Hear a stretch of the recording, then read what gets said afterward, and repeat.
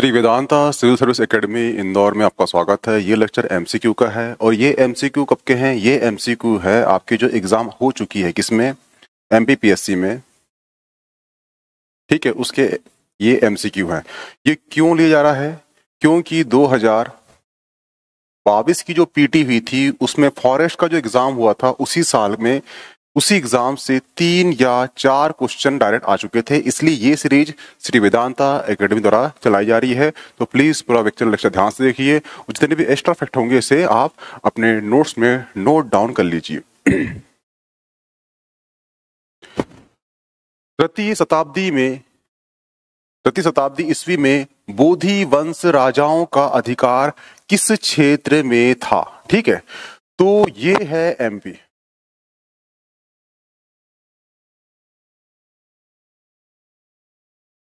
ठीक है? ये है एमपी और ये है जबलपुर। ठीक है? जबलपुर जो आज है, यहाँ पहले था त्रिपुरी। और त्रिपुरी में ही हमें बोधि वंश के सिक्के, बोधि वंश के ही अभिलेख और बोधि वंश के ही अभिलेख और प्रमाण यहाँ से प्राप्त होते हैं। ठीक है? और बोधि वंश जो था, इसके प्रथम शासक कौन हुए हैं? ये हुए हैं श्री बोधि। इसके बाद हुए हैं वसुबोधि, इसके बाद आए हैं चंद्रबोधि और इसके बाद आए हैं शिवबोधि तो ये बोधि वंश कहाँ प्राप्त हुआ हमें? जबलपुर के त्रिपुरा क्षेत्र में, जो आज जबलपुर वहाँ पर त्रिपुरा क्षेत्र था, ठीक है? और त्रिपुरा, इसका आंसर होगा त्रिपुरा। हुआ क्लियर? त्रिपुरा जो अधिवेशन हुआ था एमपी में एक ही अधिवेशन हुआ है कांग्रेस का। तो ये कब हुआ था? ये हुआ था 1939 को। और 39 को जो ये हुआ था 1900 थर्टी नाइन को जो हुआ था त्रिपुरा अधिवेशन, इसमें जो अध्यक्ष थे, उनने इस्तीफा दी थे। अध्यक्ष का नाम क्या था? सुभाष चंद्र बोस। और जो हारे थे यहाँ पे, ये कौन हारे थे? पट्टा भी सीतारमैया हारे थे। पट्टा भी सीतारमैया जो हारे थे तो महात्मा गांधी ने कहा था कि ये पट्टा भी सीतारमैया की हार नहीं है, ये मेरी हार है। और यहाँ पे जिसने इस्तीफा दिया था, वो सुभाष चंद्र बोस थे। और जो सीट खाली थी, उसके लिए दोबारा से अध्यक्ष नियुक्त किया गया, उनका नाम था डॉक्टर राजेंद्र प्रसाद। तो जो हारे थे, उनका नाम क्या था? पट्टा भी सीतारमैया और ये एमपी के पहले राज्यपाल बने और जो अध्यक्ष बने थे कौन? डॉक्टर राजेंद्र प्रसाद। ये भारत के पहले राष्ट्रपति बने। हुआ क्लियर? इसके इतने फैक्ट थे। दूसरा क्वेश्चन है, बुंदेला विद्रोह के नायक। नायक हीरापुर के राजा हृदय शाह। हृदय शाह को किस गवर्नर किस गवर्नर जनरल के कार्यकाल में गिरफ़्तार किया गया था? Lord Hasting lord Ellenborough lord Dalhousie इनमें से कोई नहीं। ठीक है? तो ये जो पद है, गवर्नर जनरल, ये कब बना था? ये बना था 1833 का एक चार्टेड एक्ट आया था। इसके अंतर्गत भारत का गवर्नर जनरल पद बना था। ठीक है? और जो पहले गवर्नर जनरल बने थे, इनका नाम क्या था? William Bentinck. ठीक है? और फिर दूसरे बने कौन से? वो बने थे ऑकलैंड। और तीसरे कौन थे? तीसरे थे लॉर्ड एलन बोरो। और लॉर्ड एलन बोरो का जो कार्यकाल था, ये था 1842 से 1844 हुआ क्लियर? और जो ये बुंदेला विद्रोह था, ये कब हुआ था? इसका सन है 1842 1842 ठीक है? तो 1842 इसका काल था ये यहाँ हुआ इसका आंसर क्या होगा? Lord Ellenborough. तो ये आपका एमपी का हिस्ट्री था, इसलिए याद रखना। अब ये विद्रोह क्यों हुआ था? इसके अलग अलग राजाओं के अलग अलग कारण हैं, उतना टाइम एक्सप्लेन करने का नहीं है, इसलिए समझ जाइए। जो नरहर राजा हैं, ये मधुकर शाह थे, चंद्रपुर राजा कौन थे? जवाहर सिंह थे हीरव राजा कौन थे? हृदय शाह थे, गड़ाए कौन थे? विक्रम ठाकुर थे, जैतपुर के राजा परीक्षित थे, मदनपुर के ढिल्लन शाह थे, और चीरगांव के भक्त सिंह थे, झांसी रियासत के कौन थे? दिलीप सिंह थे। ये जो राजा थे, इन राजाओं की जो लिस्ट दी गई है, ये कौन से कहाँ के थे? ये आप प्लीज़ याद कर लेना। वो इसलिए क्योंकि 2020 में जो पेपर हुआ था, उसमें पूछ लिया था कि हृदय शाह कहाँ के राजा थे? तो वो हीरापुर के राजा थे। तो आपको राजा और प्लस क्षेत्र आपको कंठस्थ होना चाहिए, क्योंकि नेक्स्ट एग्ज़ाम में ये आने की पूरी पूरी संभावना हुआ क्लियर? ठीक है, महाकौशल राजनीति परिस्थिति का गठन कब किया गया था? गठन किसके नेतृत्व में हुआ था? तो ये नेतृत्व हुआ था किसका? सेठ गोविंद दास सेठ गोविंद दास को 1961 में क्या दिया गया था? तो ये दिया गया था पद्म भूषण दिया गया था। जंगल सत्याग्रह सर्वप्रथम मध्य प्रदेश के किस ज़िले में? किस ज़िले में हुआ है? ठीक है, ये क्वेश्चन पूछा है उसने। तो 12 मार्च, इसकी कहानी शुरू होती है 12 मार्च 1930 को महात्मा गांधी ने डांडी मार्च यात्रा निकाली गई। डांडी क्यों बोला गया? क्योंकि ये डांडी गुजरात में डांडी जगह है, वहाँ पे जाके नमक कानून तोड़ना था। नमक क्यों? गुजरात में नमक होता है तो नमक कानून, परंतु 1930 में ही एमपी में यहाँ पर जंगल सत्याग्रह चलाया गया। क्यों? क्योंकि यहाँ पे नमक बनता नहीं। यहाँ पे क्या है? यहाँ पे लोगों के पास क्या अधिकार था पहले? जंगल का अधिकार था। परंतु क्या होता है कि अंग्रेज़ शासन के बाद जंगल सरकारी हो जाते हैं। इसलिए जंगल को जो नियम था उसको तोड़ने के लिए यहाँ पे आंदोलन चलाया गया। इनके नेतृत्व में उन्नीस सौ तीस में इसको बोला गया जंगल सत्याग्रह। गया ठीक है? और सिवनी का। सिवनी के पास ही बारह से दस मील दूर एक जगह है, ठीक है? वहाँ थे चंदन के बगीचे। चंदन के बगीचे में सरकार सरकारी बगीचा था चंदन का, वहाँ पे जाके एक व्यक्ति है, उनका नाम है दुर्गा शंकर मेहता। दुर्गा शंकर मेहता ने जंगल जाकर घास काटी और जो कानून था उसका उसका विरोध किया। हुआ क्लियर? तो यहाँ शुरू होता है जंगल सत्याग्रह। और यहीं से सिवनी के पास एक जगह है, वो है कोरकू। कोरकू के पास एक ग्राम है, वो है टूरिया। टूरिया नामक ग्राम में एक व्यक्ति जिसका नाम है ओखा लोहार।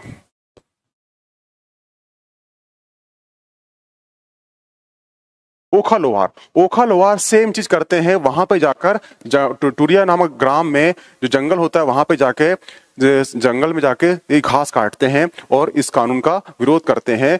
तो इनके लोग, यानी वहाँ के जो लोग होते हैं, प्लस वहाँ के जो सरकारी अधिकारी होते हैं, इनके बीच विवाद शुरू हो जाता है। विवाद जब बढ़ता है तो जनता वहाँ पे आक्रोश हो जाती है और आक्रोश होते से ही सिवनी के जो लेफ्टिनेंट लेफ्टिनेंट जनरल होते हैं, कर्नल होते हैं, कर्नल होते हैं कौन? सीमन। ठीक है? सीमन इनको अधिकार देते हैं किसको? गोली गोली चलाने का आदेश दे देते हैं किसको? अधिकारी को। वो गोली चल जैसी गोली चलती है, वहाँ पे तीन व्यक्ति, यानी तीन महिला और एक पुरुष की मृत्यु हो जाती है। तो ये था एमपी का जंगल सत्याग्रह। यहाँ से क्वेश्चन पूछेगा कि जंगल सत्याग्रह कहाँ शुरू हुआ? तो वो सिवनी से हुआ। किसके नेतृत्व शुरू हुआ? दुर्गा शंकर मेहता के नेतृत्व हुआ। टुरिया ग्राम से किसने किया? तो ओखा लोहार ने किया। सिवनी का लेफ्टिनेंट कर्नल कौन था? तो वो था सीमन। सीवनी से सीमन कर लेना आपको याद रहेगा। होगा क्लियर? और 12 मार्च। 12 मार्च का 2023 से रिलेशन है। रिलेशन क्या है? 12 मार्च 2021 12 मार्च 2021 को जो डेट है, ये डेट आपको आईएमपी है। आईएमपी क्यों है? क्योंकि इसी डेट से शुरू हुआ है अमृत अमृतकाल अमृतकाल क्यों बोला गया है? क्योंकि हमें आज़ादी के 75 ईयर हो चुके हैं। तो अमृतकाल डेट पूछेगा आपसे तो 12 मार्च 1930 क्यों है? क्योंकि 12 मार्च को ही महात्मा गांधी ने 1930 से डांडी मार्च यात्रा निकली थी। इसीलिए 12 मार्च की डेट को यहाँ पे लिया गया है। हुआ क्लियर और जो हमें आज़ादी के सौ साल कब होंगे? यानी जो अमृत काल में जो भी हमें विजन अडॉप्ट करेंगे, उस विजन का जो कहना चाहिए एक्सप्लोर है, यानी वहाँ पे विजन को हम जब लक्ष्य को पाएँगे, वो पाने की डेट है उन दो हज़ार सैतालीस। दो हज़ार सैतालीस। ठीक है? क्यों? क्योंकि उन्नीस सौ सैतालीस को आज़ाद हुए तो हमें सौ साल हो जाएँगे। यानी अमृत काल में हम जो भी विजन को लक्ष्य लक्ष्य बनाएँगे, उस लक्ष्य को पॉइंट क्या है। दो हज़ार सैतालीस है। सैतालीस क्यों है? क्योंकि हमें आज़ादी के सौ साल हो जाएँगे, इसलिए। होगा क्लियर? इतफेक्ट स्टाफ लिख लेना। निम्नलिखित में से किस संस्कृत से किस संस्कृत काव साहित्य की रचना गोंड राजा संग्राम सिंह ने किया? तो एक चीज़ रखना कि जो गोंड राजा संग्राम से हुए हैं, ये महान राजा हुए हैं गोंड वंश के। और इन्होंने बावन बावन गढ़ जीत लिए थे। ठीक है? और जो बावनगढ़ जीते थे तो नरसिंहपुर जिला है। नरसिंहपुर जिला है, वहाँ पे चौरागढ़ नामक किला की स्थापना किया था। संग्राम सिंह ने बावनगढ़ ज़िले, इसके ज़िले के इस बावनगढ़ बावनगढ़ जीतने के उपलक्ष्य में नरसिंहपुर में एक किला बनाया। किला का नाम क्या था? वो था चौरागढ़ किला। और इनके पुत्र का नाम क्या हुआ है? उनके पुत्र का नाम हुआ है दलपत सिंह। दलपत सिंह की पत्नी का नाम क्या हुआ है? वो हुआ दुर्गावती दुर्गावती दुर्गावती का संघर्ष किससे हुआ था? वो हुआ था आसफ खां से। आसफ खां कौन है? ये अकबर का सेनापति है। और कब हुआ था? ये हुआ था पंद्रह पंद्रह में हुआ था। हुआ क्लियर? पंद्रह में हुआ था। दुर्गावती यहाँ पे वीरगति को प्राप्त हो गई थी और जो दलप जो संग्राम शाह, जो राजा थे गोंड के, ये बहुत बड़े साहित्यकार भी थे। इनने एक बुक लिखी थी, एक साहित्य लिखा था, वो था रसन रत्न माला रसन रत्न माला लिखा था। संग्राम सिंह जो बावनगढ़ जीते थे, इसके उपलक्ष्य में नरसिंहपुर में नरसिंहपुर में जो किला बनाया था, उस किले का नाम था चौरागढ़ का किला। इनके बेटे हुए हैं, बेटे कौन हुए हैं? वो दलपत शाह हुए हैं। और दलपत शाह की पत्नी कौन हुई है? उनका हुआ था, दुर्गावती से हुआ था। रानी दुर्गावती का संघर्ष किससे हुआ था? ये अकबर के जो सेनापति है, आसफ खान से हुआ था। ये कब हुआ था? पंद्रह में हुआ था और वीरगति को प्राप्त हुई थी, ठीक है? तो आपसे क्वेश्चन पूछेगा कि रत्न माला रस रत्नमाला किसका साहित्य है? तो वो है संग्राम सिंह। संग्राम सिंह का बेटा कौन था? दलपत सिंह। वाइफ कौन थी? दुर्गावती। संघर्ष कब हुआ? पंद्रह सौ किससे हुआ? आसफ का। आसफ कौन था? अकबर का सेनापति। हुआ क्लियर? कालू जी महाराज का मेला एमपी के किस ज़िले में आयोजित किया जाता है? तो कालू जी का जो क्षेत्र था, वो था खरगोन। ठीक है? इसलिए यहाँ पे इनका मेला प्रतिवर्ष लगाया जाता है। खरगोन में एक मंडी है। मंडी कौन सी है? वो मिर्च मंडी है। वो मिर्च मंडी है और इस ज़िले का एक जिला, एक उत्पाद तहत कौन सा उत्पाद है? वो भी मिर्ची है। और यहाँ पे लगता है मेला। मेला का नाम क्या है? कालू जी महाराज का मेला। निम्नलिखित शासकों में से किसके शासन काल में, शासन काल में सास बहु मंदिर का निर्माण किया गया था? ठीक है। तो जो ग्वालियर है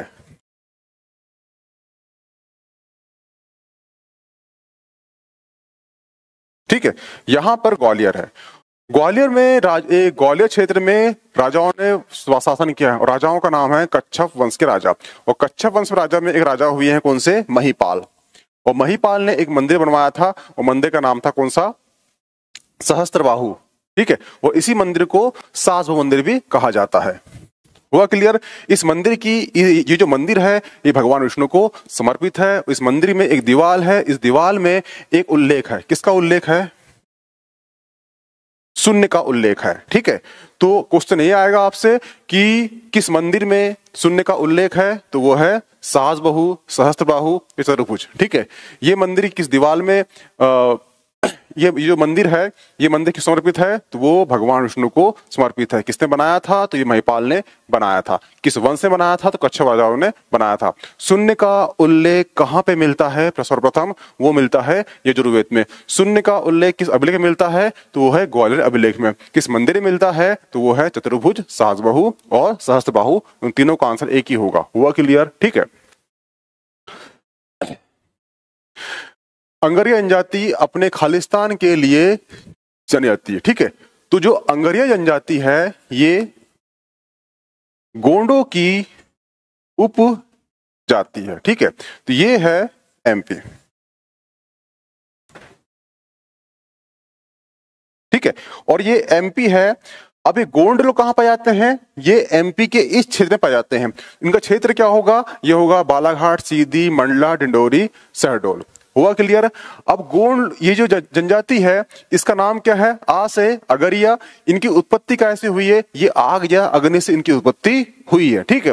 ये कौन सा काम करती है? तो ये बनाती है औज़ार। किसके? लोहे के औज़ार बनाती है। इनके जो देवता कौन है? ये लोहा सिर है, लोहा सिर है, ठीक है? लोहा सुर है। तो अगर जनजाति किसकी उपजाति है? पहला आंसर, गोंडो की उपजाति। क्षेत्र कौन सा है? बालाघाट सिंधी मंडला, डिंडोरी इत्यादि, ठीक है? इनका उत्पत्ति किसमें आती है? आग या अग्नि से। अगरिया से आग, अगरिया से अग्नि, ठीक है? इनके देवता का नाम क्या है? लोहासुर है। ये कौन सा काम करती है? तो लोहे की बनाई गई औज़ार या वस्तु का ये निर्माण करती है। हुआ क्लियर? तो ये थी कौन सी? अंगरिया जनजाति। उस्ताद हाफिज अली खां एक प्रसिद्ध खालिस्तान है। तो ये है सरोद वादक। हुआ क्लियर? जो उस्ताद हाफिज अली खां हैं, ये क्या हैं? ये हैं सरोद वादक हैं। ठीक है? और इनका संबंध किस घराने से है? तो वो है ग्वालियर घराने से। ठीक है? ग्वालियर को क्या किया गया अभी सिटी ऑफ़ म्यूज़िक का दर्जा दिया गया है 2023 में। 2023 में यूनेस्को द्वारा ग्वालियर को सिटी ऑफ़ म्यूज़िक का दर्जा दिया गया है। ये क्यों दिया गया है? क्योंकि यहाँ ग्वालियर में नौ रत्न पाए गए थे, जिसमें बैजू बाबरा थे, जिसमें हाफिज अली थे, जिसमें तानसेन थे, इत्यादि थे, ठीक है? तो जो नौ रत्न है, नौ रत्न के आप, जो भी नवरत्न है, उन नवरत्नों के इस पीटी में आने की संभावना है कि वो नवरत्न में से जो थे, एक व्यक्ति जो भी नौ है, वो क्या क्या बजाते थे? उनका वादक क्या था? जैसे कि हाफिज बजाते हैं सरोद वादक। ठीक है, ऐसी नौ रत्नों के जो वादक है, आप एक बार याद कर लेना, क्योंकि वो वहाँ से आने पूरी संभावना है। ये रिसेंटली एग्ज़ाम में आ चुका है और नौ रत्नों में से क्वेश्चन उठेगा, क्योंकि 2023 में यूनेस्को को ग्वालियर ग्वालियर को यूनेस्को ने ग्वालियर को सिटी ऑफ़ म्यूज़िक दर्जा दे दिया गया है, इसलिए होगा क्लियर हिट गायन की प्रथा किस क्षेत्र में है? ठीक है, हिट गायन। हिट गायन जो है एक्चुअली दो क्षेत्रों में गाया जाता है। ये है मालवा। ठीक है, मालवा में जो एक जाति होती है, अहिर। अहिर जाति द्वारा हिट गायन किया जाता है। कब किया जाता है? ये दिवाली, होली, नवरात्रा और श्रावण के क्षेत्र में गाया जाता है। ठीक है, और जो हिट गायन होता है, ये जाति कौन सी है? यह अहिर जाति द्वारा गाया जाता है। इसके दो क्षेत्र हैं, एक निवाड़ी, एक निवाड़, एक निमाड़ निमाड़ और मालवा। निमाड़ और मालवा दोनों जगह हिट गान गाया जाता है। जाति कौन सी गाती है? वो हरियाती गाती है। कब गाती है? दिवाली, होली, श्रावण और श्रावण, होली, दिवाली। ठीक है? ये तीन नवरात्र में भी गाई जाती है। तीन, चार क्षेत्रों में ये चार जगहों पे कहना चाहिए, चार जो सेशन होते हैं, इसमें ये गाया जाता है हीट गायन, ठीक है? तो आपसे क्वेश्चन पूछा है कभी तो हीट गायन कभी भी मालवा और निमाड़ दोनों लगाना, क्योंकि इसका आंसर सी और डी दोनों दिया है किसने? आयोग ने। हुआ क्लियर? निम्नलिखित में से कौन सा पहाड़ियों का समूह, पहाड़ियों का समूह जो है पश्चिमी, ये याद रखना, क्या बोला इसने? पश्चिमी सतपुड़ा श्रृंखला में स्थित है। ठीक है? तो सतपुड़ा के तीन क्षेत्र हैं, तीन पार्ट में बटी है। एक है पश्चिमी, एक है पूर्वी और एक है मैकॉल। हुआ क्लियर? ठीक है? तो ग्वालीगढ़, ये गोंडवाना, ये तो होगा नहीं। ठीक है? महादेव, ये तो पूर्वी में आ गई, ये तो होगा नहीं। ठीक है? बीजागढ़, बड़वानी, असरीगढ़, ये तीनों चीज़ पूर्व, पश्चिम साइड है। ठीक है? डिंडोरी, मैकॉल, ये तो होगा नहीं। ठीक है? तो इसका परफेक्ट आंसर क्या होगा? सी होगा। क्योंकि यहाँ पूछा क्या है? ये पूछा है पश्चिमी सतपुड़ा। एक चीज़ रखना कभी क्वेश्चन पूछना क्वेश्चन ध्यान से पढ़ना और क्वेश्चन में जो बता, जो पूछा गया है, उस क्वेश्चन के अकॉर्डिंग ऑप्शन को एलिमेट करना तो आपका आंसर पूरे सही होने के चांसेस बढ़ जाते हैं। ठीक है? यहाँ पूछा है पश्चिमी। तो पश्चिमी में कौन कौन सी पहाड़ी है वो देखना था आपको। ये आप गलत कर देते हैं यहाँ पे, क्योंकि पहाड़ी पूरी जो है सतपुरा रेंज की है, बस वहाँ पे ध्यान रखना था, पश्चिम की पहाड़ी कौन सी है? हुआ क्लियर ठीक है, देखना, राजपिपला, बड़वानी, बीजापुर, अखरानी, ठीक है, आसरीगढ़, ये पूरे कहाँ पर है? ये पश्चिम में है, ठीक है, ये है धूपगढ़, ये कहाँ पर है? पूर्व में है। और ये है मैकॉल। ये कहाँ पर है? इधर पश्चिम साइड है। परंतु ये पूर्व में है, वो पश्चिम में है और मैकॉल श्रेणी। मैकॉल श्रेणी चोटी कौन सा? चोटी का नाम क्या है? वो है अमरकंटक की चोटी। जो धूपगढ़ है, ये सतपुड़ा में है, परंतु किस पर्वतमाला में है? वो महादेव महादेव पर्वत में है। ठीक है? महादेव पर्वत में क्या है? वो है धूपगढ़। इसकी हाइट कितनी है? वो हाइट है तेरह सो पचास मीटर। हुआ क्लियर ठीक है? East India state of forest report 2019 के अनुसार एमपी के कितने प्रतिशत भूभाग पर वन पाए जाते हैं?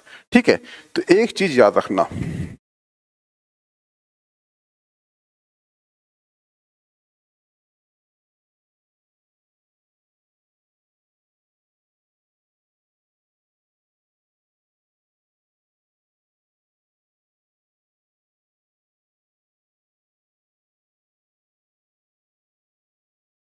ठीक है, ये जो रिपोर्ट है, ये 2021 की वन रिपोर्ट के अकॉर्डिंग इतने वन है और 2019 के अकॉर्डिंग इतने वन है, ठीक है।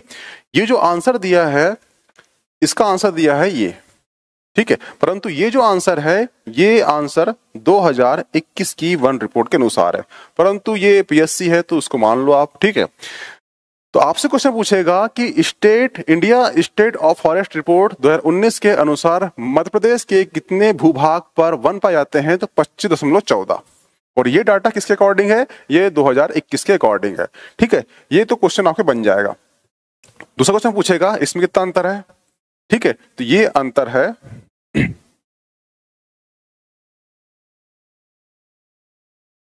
ठीक है, ये अंतर है दस दशमलव। ये क्वेश्चन पूछेगा आपसे कि 2019 की रिपोर्ट और 2021 की रिपोर्ट में कितने वनों की वृद्धि हुई है? तो वो हुई है दस दशमलव ग्यारह वनों की प्रतिशत की वृद्धि हुई है। ठीक है? आपसे क्वेश्चन ये पूछ लेगा कि मध्य प्रदेश में कितने वन प्रतिशत भूभाग में पाए जाते हैं? तो उसका आंसर तो ये हो गया। परंतु, ठीक है?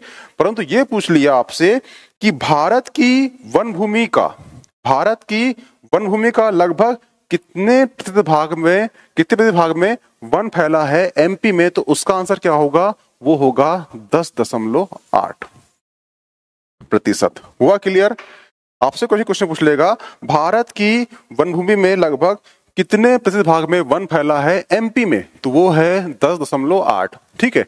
परंतु यहाँ क्वेश्चन क्या पूछा उसने? एमपी में के कितने प्रतिशत भाग में भूभाग फैला है? ठीक है? तो वो एमपी का पूछा है, इसलिए इसका कितना परसेंट हो जाता है? पच्चीस। भारत पूछेगा, दशमलव आठ। वृद्धि कितनी हुई है? दशमलव ग्यारह।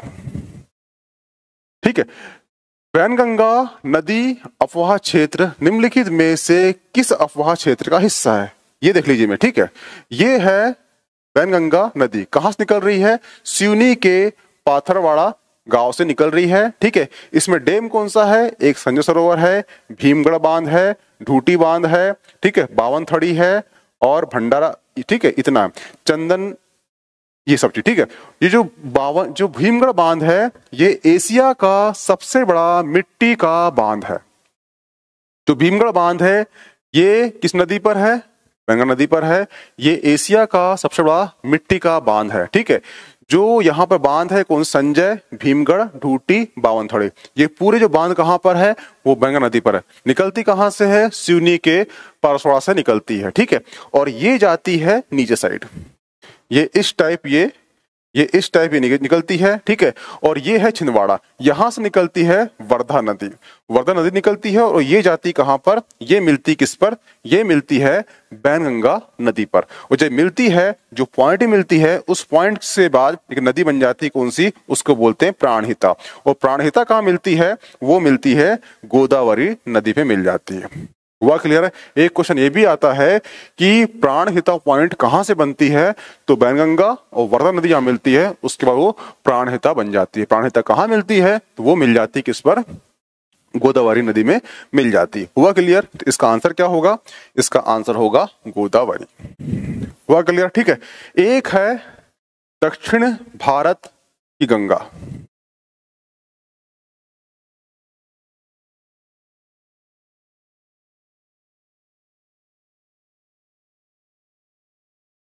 ठीक है? और एक है दक्षिण गंगा। ठीक है? ये दोनों क्वेश्चन में कंफ्यूज होता है। देखना, यहाँ पे आ गया कि दक्षिण भारत की आ गया तो इसका आंसर हो जाएगा कावेरी। हुआ क्लियर ठीक है? और दक्षिण गंगा आ जाएगा, वो आ जाएगा गोदावरी।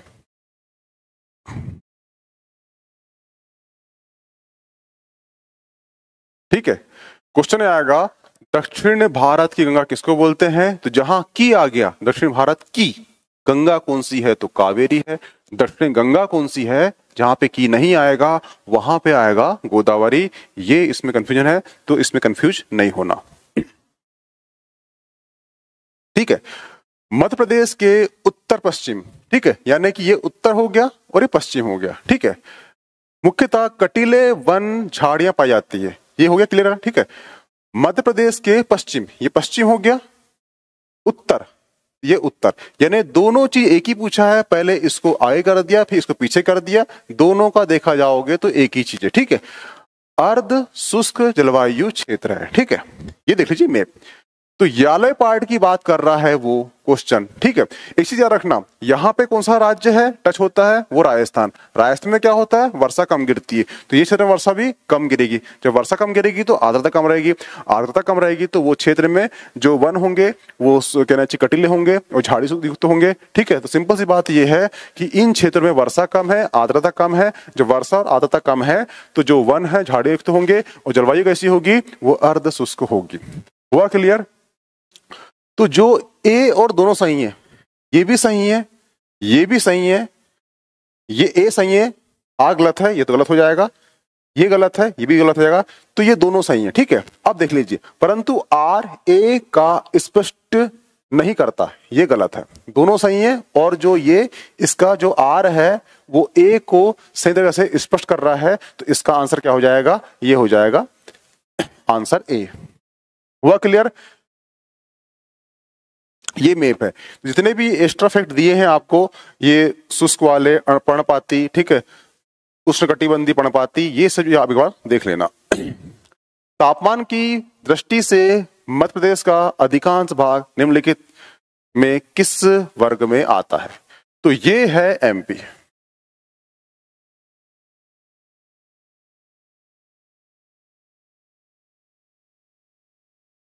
ठीक है? और ये है कर्क रेखा, ठीक है? और कर्क रेखा में सूर्य होता है लंबवत। जब लंबवत होता है तो यहाँ पे तापमान अधिक होगा। तापमान जब अधिक होगा तो परंतु ये कर्क रेखा के ऊपर नहीं आता, यहाँ तक आता है। तो यहाँ पे अति ताप नहीं होगा, यहाँ पे तापमान तो होगा, ठीक है? पर अतिरिक्त ताप नहीं होगा अति तापीय होगा। कर्क रेखा में सूर्य होता है लंबवत तो तापमान अधिक होगा। तापमान अधिक होगा तो जो तापमान अधिक होगा तो क्या आएगा? वो अतिरेक अति तापमान आएगा। अतिरिक्त तापमान क्यों नहीं आएगा? क्योंकि अगर इसके नीचे होता तो अतिरिक्त आता। ये कर्क के आधा भाग एमपी ऊपर भी है तो क्या आएगा? अति तापी आएगा। हुआ क्लियर कर्क रेखा एमपी के कितने जिलों से गुजरती है? तो वो है चौदह जिलों से। कितने भारत के कितने राज्यों से गुजरती कर्क रेखा? तो वो है आठ राज्यों से। और जब भी एग्ज़ाम देने जाओगे, ये कर्क रेखा के ऊपर कितने ज़िले हैं? कौन कौन ज़िले जाती है? कर्क रेखा, ये देख के जाना, ये 2021 का जो प्री हुआ था, ठीक है? उसमें डायरेक्ट यहाँ से क्वेश्चन आया था कि कौन सी कर्क रेखा किस ज़िले से नहीं गुजरती? तो ये जब भी एग्ज़ाम दे जाओ तो एक बार इसे देख के चले जाना और आपको चौदह ज़िले भी याद होना चाहिए। आठ राज्य भी आपको याद होना चाहिए। कौन सी राजधानी किसके पास में है, वो भी आपको याद होना चाहिए। मध्य प्रदेश में भूमिगत जल संसाधन का अति शोषण। अति शोषण करने वाले ज़िले कहाँ पर हैं? तो ये है मालवा। क्यों है? यहाँ पे अधिक क्या होती है? कृषि होती है। ठीक है? और क्या है? उद्योग है। जब ये दोनों अतिमा जो मालवा क्षेत्र में कृषि भी अधिक होती है, उद्योग भी अधिक है तो जो जल संसाधन को अतिशोषण करने की क्षमता भी कहाँ होगी? किन जिलों में होगी? वो मालवा के जिलों में होगी। हुआ क्लियर? आपको इस प्रकार से भी ऑप्शन को ध्यान रखते हुए या कहना चाहिए, ऑप्शन को टिक करना है। मुरैना ज़िले में फैला कैलारस क्षेत्र ठीक है? इसी रखना, जो चूना पत्थर है। चूना पत्थर से क्या बनता है? ये बनता है सीमेंट। ठीक है? और सीमेंट जो ये चूना पत्थर है कहाँ पाया जाता है? ये पाया जाता है कटनी, मुरैना, यहाँ पाया जाता है। मुरैना में क्यों पाया जाता है? क्योंकि यहाँ पे एक क्षेत्र है। उसका नाम क्या है? कलरस क्षेत्र। कभी आपको क्वेश्चन ये आएगा कि कलरस क्षेत्र क्यों प्रसिद्ध है चूना पत्थर के लिए? चूना पत्थर से क्या बनता है? सीमेंट बनता है। ठीक है? हुआ क्लियर इसका आंसर क्या होगा? चूना पत्थर। चूना पत्थर। कौन सा? कैलारस क्षेत्र। कहाँ पर है? मुरैना में। मुरैना में एक मंदिर भी है। कौन सा मंदिर है? वो है चौसठ योगिनी। ठीक है? किसने बनाया था? तो ये कच्छप राजाओं ने बनाया था। ये क्वेश्चन क्यों इंपॉर्टेंट हो जाता है? कि 2021 की जो यूपीएससी है, वहाँ ये पूछ चुका है। ठीक है? क्यों पूछ चुका है? क्योंकि 1921 में क्या बना था? ये बनी थी संसद। ठीक है? और संसद जो बनी थी, उसका डिज़ाइन जो है डिज़ाइन जो है, ये मुरैना के जो कच्छ राजा हैं, वहाँ से लिया गया है। जो मुरैना में कच्छ राजा हुए हैं, उन्होंने वहाँ पर एक मंदिर बनाया था, चौसठ योगिनी मंदिर। उस मंदिर का डिज़ाइन कहाँ लिया गया है, वो लिया गया था 2019-21 में, जो संसद बनी थी उसमें। इसलिए 100 साल होने पर 100 साल होने पर 2021 में यूपीएससी ने क्वेश्चन पूछ लिया था कि चौसठ योगिनी मंदिर किस राजवंश द्वारा बनाया गया है तो वो है कच्छप राजाओं वाला। ठीक है, ये इंपॉर्टेंट क्यों बन जाता है? क्योंकि इसका डिज़ाइन जो है, वो लिया गया था किसमें? भारत की संसद बनाने में, जो 2019-21 में बनी थी। हुआ क्लियर मध्य प्रदेश का पाथा खेड़ा कोयला क्षेत्र, ये क्यों प्रसिद्ध है? ठीक है, जो पाथा का कोयला क्षेत्र कहाँ पे आता है? ये आता है सतपुड़ा क्षेत्र में और किस ज़िले में आता है, वो आता है बैतूल में। हुआ क्लियर ये सही जोड़ी है, ठीक है? तो बाण सागर किस नदी पर है? ये सोन नदी पर। इसका बाण सागर नाम क्यों है? वो है बाण भट्ट हुए हैं, उनके नाम पर इसका नाम रखा गया है बाण सागर ये भी क्वेश्चन आपको पूछ चुका है। इंदिरा सागर कहाँ पर है? नर्मदा नदी पर। अशोक सम्राट को एक और नाम बोलते हैं, उसका नाम है हलाली परियोजना बोलते हैं उसको। ठीक है? संजय सरोवर बता चुका हूँ आपको अभी भी, वर्तमान में एक क्वेश्चन गया है, वो गया है बैनगंगा पर। ठीक है? तो ए का तीन देखिए। ए का तीन ये नहीं है ए का तीन ये नहीं है ए का तीन ये है, पर ए का तीन ए का चार ये है। तो ए का तीन ये भी सही हो गया बी का चार ये भी सही हो गया सी का एक ये भी सही हो गया, ठीक है? डी का दो, ये भी सही हो गया। तो इसका ऑप्शन होता है सी सही होता है। हुआ क्लियर ठीक है। राजघाट बहुउद्देशीय परियोजना निम्नलिखित में से किन दो राज्यों की संयुक्त परियोजना है? ठीक है, एक चीज़ याद रखना। राजघाट पूछे पूछे आपसे? क्या? राजघाट पूछे, या फिर आपसे माता टीला बाँध पूछे, या फिर या फिर आपको रानी दुर्गावती पूछे? ये तीनों परियोजना का नाम एक ही है। ठीक है? और ये तीनों परियोजना का आरंभ हुआ था उन्नीस सौ बहत्तर में। हुआ क्लियर? और ये जो परियोजना है, ये बनी है यहाँ पर।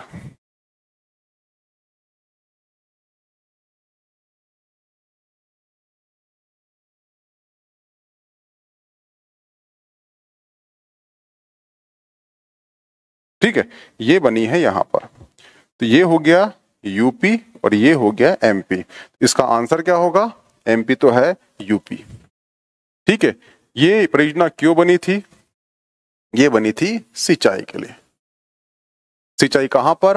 भिंड, मुरैना, ग्वालियर क्षेत्र में पानी नहीं गिरता, इसलिए उन क्षेत्रों में सिंचाई के लिए एक परियोजना बनाई गई। उसका नाम क्या था? राजघाट बहुउद्देशीय परियोजना। उसका और एक नाम है, माता टीला परियोजना। उसका और एक नाम है, रानी लक्ष्मीबाई परियोजना। हुआ क्लियर? ठीक है। इसका आरंभ कब हुआ था? ये हुआ था उन्नीस सौ बहत्तर में। तो ये क्वेश्चन थे आपके। पशु चिकित्सा विस्तार अधिकारी के एमपीएससी का, जो 2023 में आपका एग्ज़ाम हुआ इसलिए, ठीक है? यहाँ डायरेक्ट क्वेश्चन आपके आने की पूरी संभावना है तो ये लेक्चर पूरा वाच करना, ये सीरीज़ लाई जा रही है, श्री वेदांता अकेडमी द्वारा, ठीक है? अभी आगे वो सीरीज़ आएगी तो जितने भी एक्स्ट्रा फैक्टर है, उसे लिख लेना, और जो चल रही सीरीज़, उसे आप ध्यान से देखना, आपका जो सत्रह दिसंबर का एग्ज़ाम है P S C P S C का, ये आपका बहुत शानदार रहेगा। Okay thanks